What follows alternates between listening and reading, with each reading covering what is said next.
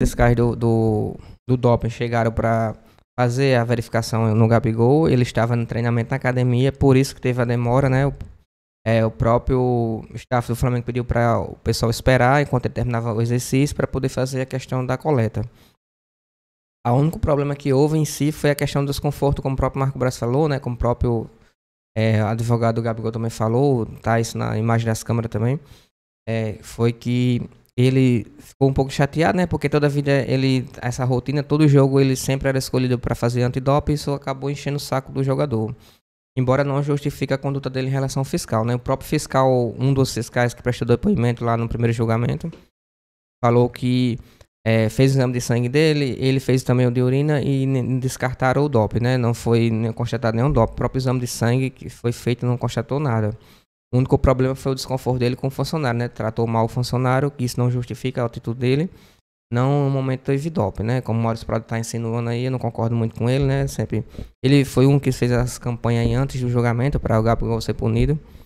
É, não quero defender que o Gabigol não errou, tem que ser punido, mas não dessa forma. Achei muito severa a punição dele, o cara não se dopou, foi só uma questão de desconforto. Pode multar ele, já que ele agiu ríspido né, com o próprio funcionário do doping o tipo de pena, não esse tipo de pena já que não foi dop, né? Você vai dar uma pena de dop como o jogador tá limpo, não vejo nenhuma justificativa para isso. Se ele tivesse sido dopado mesmo, eu era a favor não só dois anos, mas mais anos aí. A gente vê jogadores aí que foi pegado no dop e aí continua jogando, não tiveram nenhuma punição. E sempre em relação ao Flamengo as medidas são diferentes, né? A própria Comebol já fez isso já. Cantos racistas, cantos homofóbicos. Os outros clubes são absolvidos, o Flamengo sempre toma uma punição, sempre toma multa e vida que segue. Não justificando os meios, né, nem os fins, mas eu achei muito severo a punição em cima do Gabigol e deve ser revista, né? Mas coloca os comentários certo, opinião de vocês.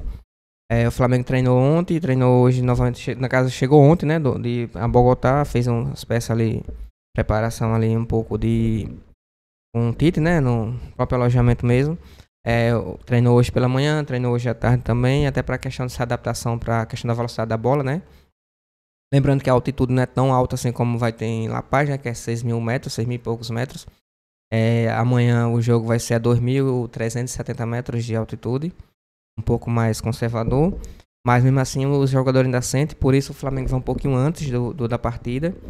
É, não vai antes, é, um pouquinho antes, né? Pouquinhas horas antes, antes de começar a partida para esse impacto não ser tão sentido pelos jogadores. Lembrando que geralmente é 48 horas para poder o time mesmo absorver aquele impacto da altitude, né? Por isso a questão da, do cuidado do, da equipe fisiologista, médicos, etc., do staff do Flamengo, para poder evitar isso, o time conseguir render bem durante o jogo, tá bom?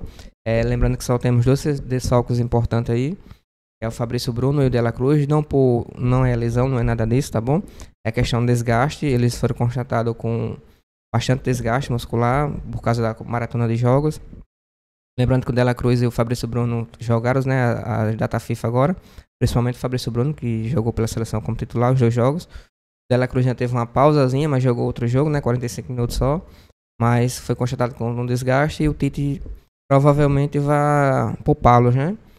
É, o problema é só quem vai colocar no lugar, já que a princípio o Flamengo não tem nenhum reserva pro Dela Cruz, né? A não ser o que faz um, mais ou menos isso é o Matheus Gonçalves e o Vitor Hugo, de vez em quando. Mas não é jogador da altura assim pro nível do De La Cruz, né? A gente, desde que saiu o Everton Ribeiro, não entrou nenhum jogador que se enquadre, se encaixe nesse tipo de perfil. E já não, na defesa tem o próprio Léo Ortiz, que já pode estrear no lugar do Fabrício Bruno, né? Já que ele vai ser poupado. E também tem o Davi Luiz, entre outros zagueiros aí que também consegue.